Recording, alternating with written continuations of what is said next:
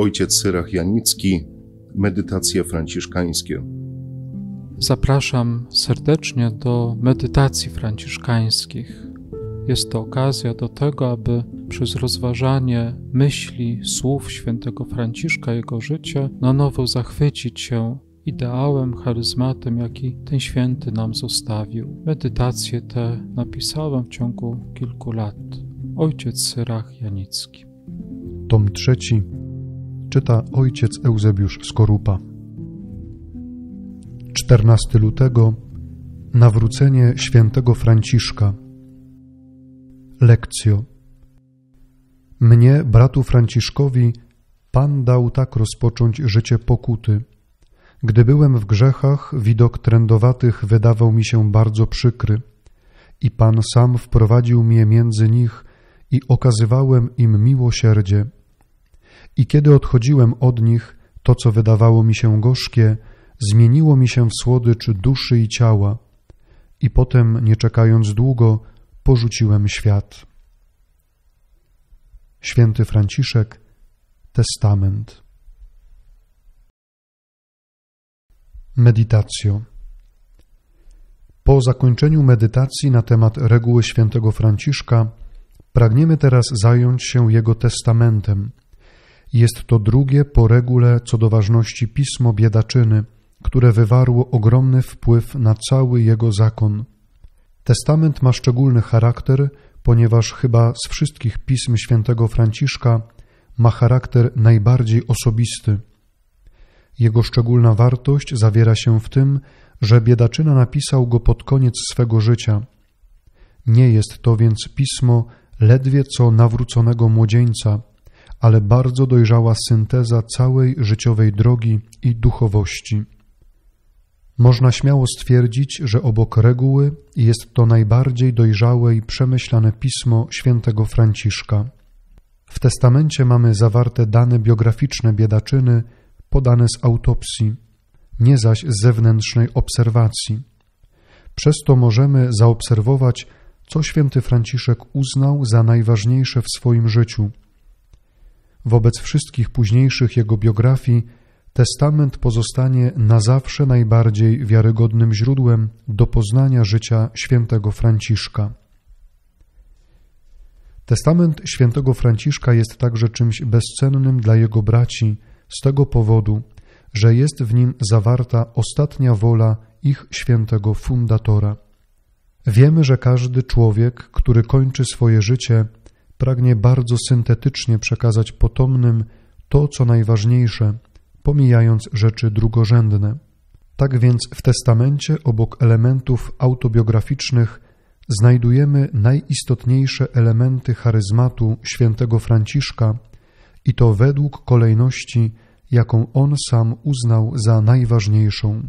Mnie, bratu Franciszkowi, Pan dał tak rozpocząć życie pokuty, gdy byłem w grzechach. Święty Franciszek rozpoczyna swój testament od stwierdzenia, że to Pan mu dał rozpocząć. Biedaczyna rozpoznaje swoje nowe życie jako dar od Boga. To nie on rozpoczął i to nie jest żadna jego zasługa, ale jest to działanie Boga. Jest to jedno z kluczowych pojęć w duchowości biedaczyny. To Bóg daje i inspiruje, a człowiek jedynie odpowiada. Człowiek nie jest autorem swojej drogi, on tylko realizuje to, do czego Bóg go wzywa.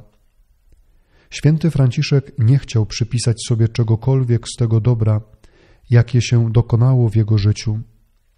To wszystko było darem od Boga i tylko Jemu należy się za to chwała i wdzięczność. Postawa oddawania Bogu chwały za to, co uczynił, była dla świętego Franciszka konsekwencją jego duchowego ubóstwa. Być ubogim dla biedaczyny znaczyło nie przypisywać sobie niczego, a oddawać wszystko Bogu. Święty Franciszek bardzo wyraźnie dzieli swoje życie na to, kiedy był w grzechach i to, kiedy zaczął czynić pokutę. Wyrażenie świętego Franciszka, gdy byłem w grzechach, nie oznacza koniecznie jakiegoś uporczywego trwania w ciężkich grzechach. Chodzi tutaj bardziej o to, że święty Franciszek kierował się w swoim postępowaniu moralnym czymś, co często było w opozycji do Ewangelii. Pragnienie sławy i bogactwa, używanie i ciągła zabawa były tym, co zdominowało jego młodość i podporządkowało sobie wszystkie jego wybory. Opuszczenie świata oznaczało dla niego nie zmianę zamieszkania, aby móc być odtąd w klasztorze. Zostawienie świata dla biedaczyny znaczyło pozostawienie mentalności opartej na rządzy posiadania, używania i władzy. Dlatego biedaczyna wspomina, że przełomem było dla niego pójście do trędowatych. Szpital trędowatych był miejscem wyklętym i niejako wyłączonym ze świata. Nie było tam ani bogactwa, sławy czy też władzy. Byli tam ludzie opuszczeni i straszliwie cierpiący, którzy nie mieli nic dodania w materialnym znaczeniu. Okazało się, że właśnie w tym miejscu dla biedaczyny to, co gorzkie, zmieniło się w słodycz duszy i ciała.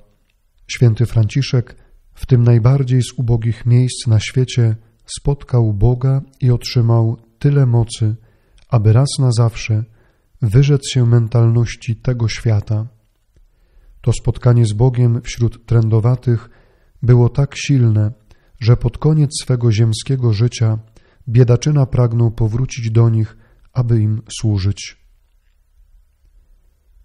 Oracjo Boże, który każdego z nas dotknąłeś łaską powołania i wyprowadziłeś ze świata, abyśmy mogli żyć według Ewangelii, przyjmij nasze podziękowania za ten dar.